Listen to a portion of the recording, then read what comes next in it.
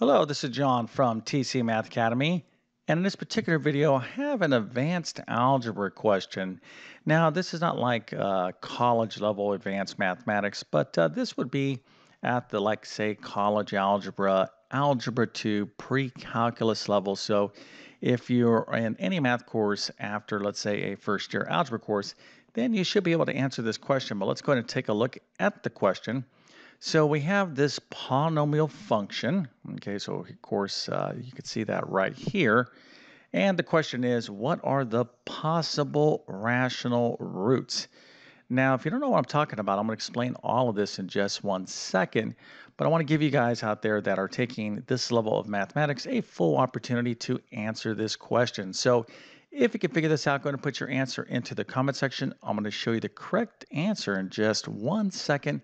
And then we're going to talk about something tremendously important uh, about polynomials and something that you absolutely need to know at this level of mathematics. Also, if you need math help with the course you're taking, test prep or homeschooling, make sure to check out my math help program at tcmathacademy.com. You can find a link to that in the description below. And if this video helps you out, don't forget to like and subscribe, as that definitely helps me out. Okay, so let me show you the answer, and then of course I'm going to start explaining this. So if you're a little bit lost, just hold on one second. Uh, I'll be able to clear up, hopefully, uh, most of your questions out there. But let's answer the question, what are the possible rational roots for this function? Well, the answer is the following. So it's this big set right here. So we have a set of numbers, and those num uh, numbers are plus or minus 1, plus or minus 2, plus or minus 4, plus or minus 8, plus or minus 16, and plus or minus uh, 1 half. Okay, now of course, if you have these same numbers but not in this particular order, that is perfectly fine. But this is the set of possible rational roots for that particular function. Now, some of you out there might be like totally uh, lost. You might be thinking, hmm, I have no idea what you're talking about. If that's your situation, just hold on. But if you figure this out, let's go ahead and give you a nice little happy face and A plus, a 100%, and a few stars so you can tell your friends and family that you know exactly how to determine the possible rational roots of a particular uh, polynomial function. Uh, probably most of your friends and family will look like this. They'll be like, I have no idea what you're talking about, but if I ever need a math tutor, I'll hire you. Okay, so let's go and get into this. So, what are we talking about? Well, we are talking about polynomial functions. And polynomials are uh, a huge, huge, huge topic in mathematics, and you need to know a lot about them. Now, one of the things I'm going to be talking about in this uh, uh, for this particular problem is you can see down here. I'll talk about it a little bit more in a second. Something called the rational root theorem, but there are other theorems you need to know about polynomials. So again, at these uh, uh, levels of mathematics, algebra 2, college algebra, pre-calculus, you need to know a lot, a lot, a lot about polynomials. Now, if you uh, need help right now with the course you're taking, uh, I would certainly suggest checking out like my Algebra 2. I have a college algebra course. Probably for most of you out there, if you really want the full kind of um, you know, all the theorems, all the different type of techniques you need to understand to solve polynomial equations. Really just kind of go straight to my pre-calculus course because I cover everything in that course totally. All right, so one thing that we have to understand about polynomial functions is the following. So look at our problem here. So we have f of x is equal to 2x cubed minus x squared minus 32x plus 16. Well, we have this fancy thing called the fundamental theorem of algebra. What does that say? Well, basically, the fundamental theorem of algebra more or less states that when you have a polynomial function, that the degree of that polynomial, okay, which is the highest power. So you can see our polynomial here is written from highest to lowest power. So 3 is the degree. Okay, so the degree is, of course, the highest power of a polynomial when it's written in standard form, which is highest to lowest power. So the fundamental theorem algebra effectively states that the degree, okay, of a polynomial, okay, is how many roots or solutions you will have for that polynomial. So for this particular polynomial, it's a uh, third degree polynomial, so we will have three solutions for this polynomial. Okay, now what type of solutions will we have? Well, that is a whole nother kind of um, ball game here. So uh, when it comes to the type of solutions you can have, uh, you can let me go actually go up here for a second.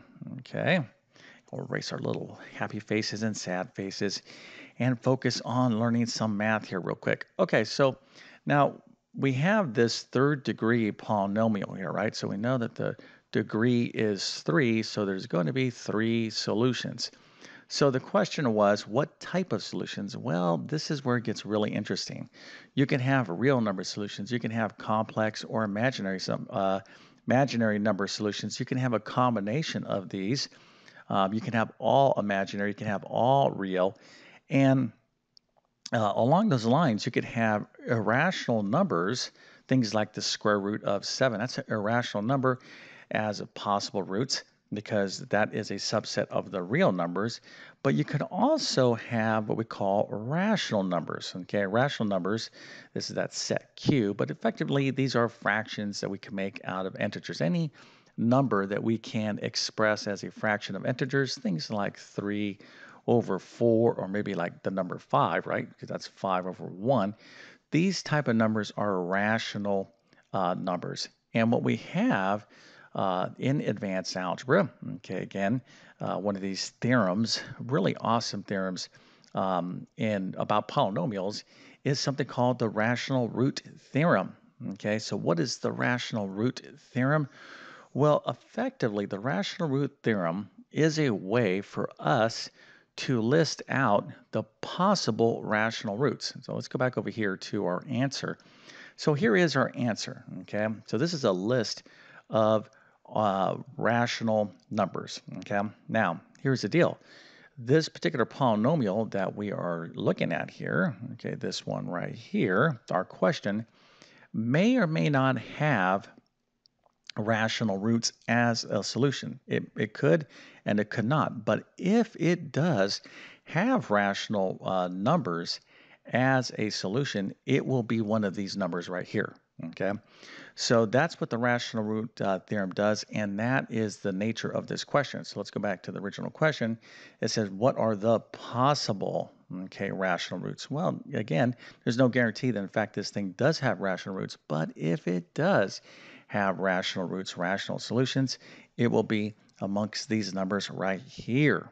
Okay, so we need to understand, be very clear on what this set of numbers means and represents and kind of put that in context of um, you know our larger understanding of polynomial functions, etc., etc. Now, there's other things you can do to kind of narrow this down, and I don't want to get into this particular video, but there's other very important things and other uh, very important skills that you need to understand that are related to solving um, kind of higher degree polynomial equations.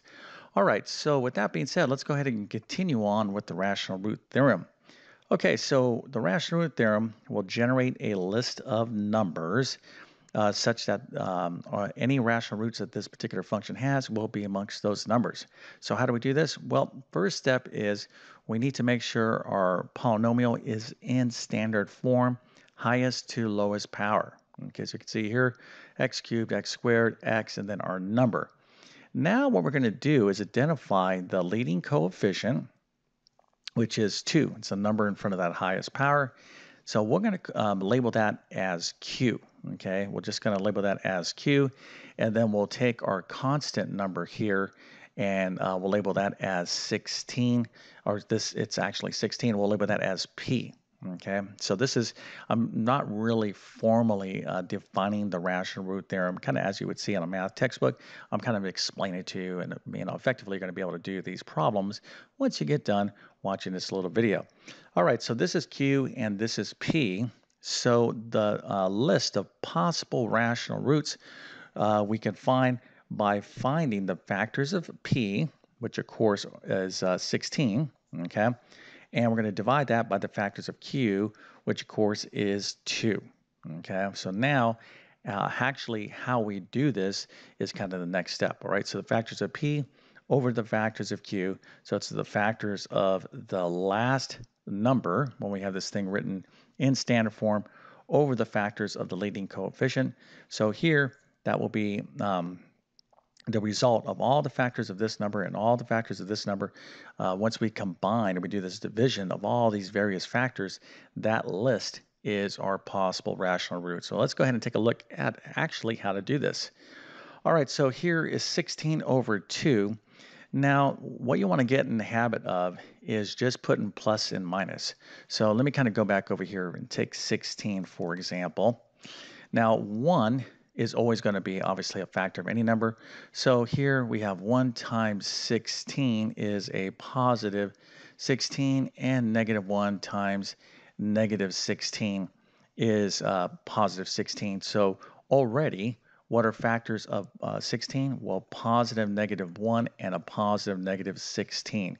So you just kind of pretty much kind of put your brain on automatic, if you will, and just be like, okay, it's always going to be positive and negative 1 with these numbers. So let's focus on 16. And the way you want to do this is start with the factor of 1 and just start increasing, you know, um, kind of going through your, your mind what is the next largest factor, what's the next largest factor, all the way up until you reach that number 16, which of course 16 will be a factor in and of itself.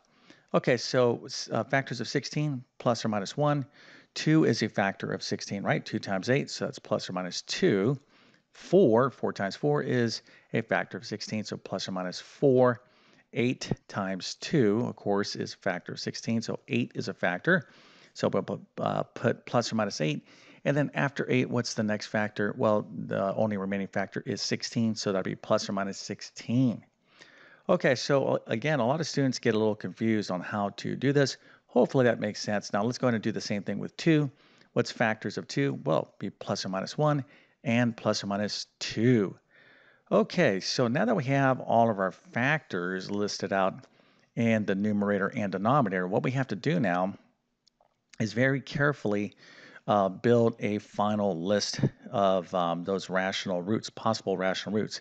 So the way I like to do this is just to take our first denominator. Okay, so it's plus or minus 1, and I'm just going to start dividing by this number right here. Okay, we'll divide through all these numbers.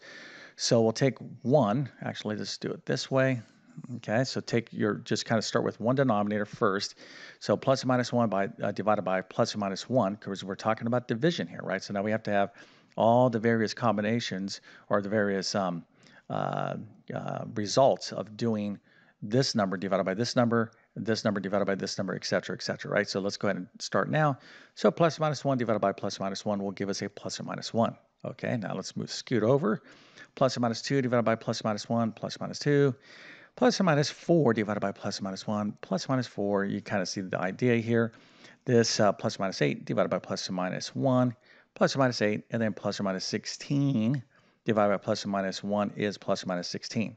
Now we're out of numbers here, right? So what we're going to do, out of numbers in terms of we uh, divided by all of our numerators here. So we'll scoot this over to our next denominator. So that's going to be 2. Okay, so plus or minus 1 divided by plus or minus 2 is going to be plus or minus 1 half. All right, so now let's scoot over. Plus or minus 2 divided by plus or minus 2 is what? Well, 2 divided by 2 is 1, so we're right back to plus or minus 1. So we don't need to write that again because we, we already have that. So plus or minus 4 divided by plus or minus 2 is 2, so you can see we have that. Uh, 8 divided by 2 is 4, we have that. And then 16 divided by 2 is 8, and we have that. Okay, so at this stage, we now have all the possible rational roots for this particular polynomial function meaning that um, one of these, okay, uh, one or three of these could be the solutions for this polynomial equation. Now, how could you test that? Well, you could just take a number. Let's take positive 1 here real quick and plug this in and see. Let me see if I can do this math here real quick. We'll take a positive 1. All right, let me kind of uh, uh, put a nice little yellow there so we can see what's going on. And let's just test this to see if this one works because now we're looking for solutions, right? So let's see what happens. And um, we're kind of doing this in real time. Now, what would be the actual way you would do this um, like in those courses that I was talking about? Well, you would do this using synthetic division. Now, you could, you know, just plug in numbers and check. So let's go ahead and continue to check here. 1 cubed is 1 times times 1 times 1 times 1. Try to say that three times fast, right? Is 1, so that's 2. So that's going to be 2 minus 1 squared, which of course is 1. Minus, uh, let's see here, 32 times 1. Yeah, it's going to be 32 plus 16. All right, so it doesn't look like this is going to work out, right? So this right here is going to be 1 minus 32 plus 16. Let me just make sure I'm not making an error here. So 2 minus 1, that is 1, minus 32. So this is going to be what? A negative 31 plus 16. No way that we're going to end up with a 0. That's the main idea here. So that positive 1 right here, we could just, you know, we can test these as possible solutions. That doesn't work, all right? So positive 1, we can kind of just throw that out, okay? Now, you can what you want to do is continue to test all these rational uh, roots, possible rational roots, and see if you uh, find one. Now, this kind of what I'm getting into now is more more the advanced things you need to know, like synthetic division. Um, uh, there's other uh, theorems as well. Descartes rules, rules, Descartes rules of signs, etc., etc. So there's other techniques uh, to include graphing. This gets it's a big topic here, but if you walk away you know, at least having this basic understanding of what the fundamental theorem of algebra is, uh, what the rational root theorem is, well, that's very, very good. Again, if you need help with this stuff, uh, you know, I do teach this at, you know, in my Algebra 2 course, my college algebra courses, and my pre-calculus course. If you want the full kind of depth of how to solve advanced polynomial uh, or higher degree polynomial equations, check out my pre-calculus course. But if this video helps you out, don't forget to like and subscribe. And with that being said, I definitely wish you all the best in your mathematics adventures. Thank you for your time and have a great day.